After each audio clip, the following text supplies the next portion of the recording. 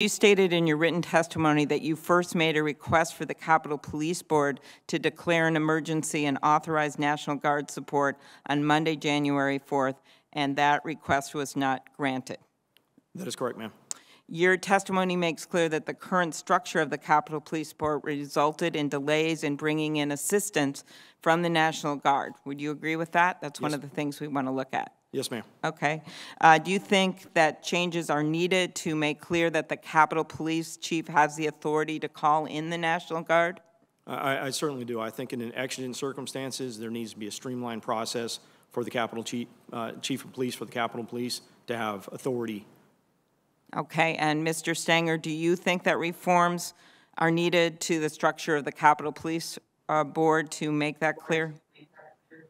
I think uh, a review of the Capitol Police Board and their statutory authorities probably, a- a- would be a good time to do this now.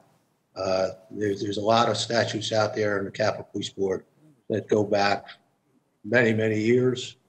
Uh, Things have changed and it's probably, uh, to make uh, the board a little bit more nimble, it's probably not a bad time and an idea to take a look at what's there. Uh, It's probably an understatement with what happened, but thank you. Uh, Mr. Irving, your views?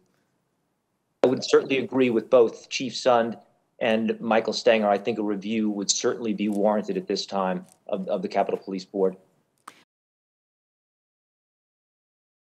The biggest stories the moment they happen from around the globe. Subscribe to Bloomberg Quick Take now for insight in an instant.